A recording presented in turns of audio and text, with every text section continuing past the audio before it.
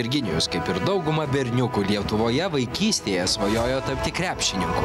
Bet chemijos mokytojos paskatintas, Virginijus pasirinko kitą kelią. Kokie būna sprendimai dažnai lemia mokytojas. Baigęs mokyklą aš tikrai žinojau, kad noriu stoti studijuoti chemijos, taip aš tapau chemiku, o ne krepšininku. Jis pasirinko biochemijos kryptį, kaip kilnę misiją dirbti ir tirti vardan gyvybės. Kažkurio momentu supranti, kad tyrinėti gyvus organizmus yra labai įdomu, kadangi tai padeda suprasti tų gyvųjų organizmų elgseną, kaip tie gyvieji organizmai funkcionuoja, tiesiog suprasti, kaip veikia gyvybė.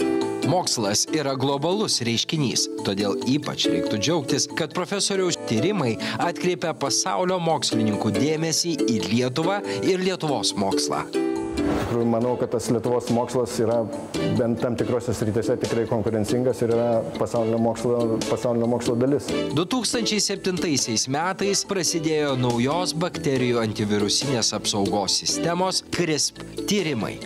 Jie atvedė iki baltymo CAS9 galimos veiklos. Leidžia ištaisyti klaidas, kurios kartais būna DNR molekulė, o tos klaidos dažnai yra genetinių lygų e, priežastis. Šie atradimai gali pakeisti žmonių gyvenimo kokybę. Gali būti naudojamas e, paveldimų lygų gydymui arba e, kurti naujas e, augalų veislės, kurios būtų atsparios šalčiui, sausrai.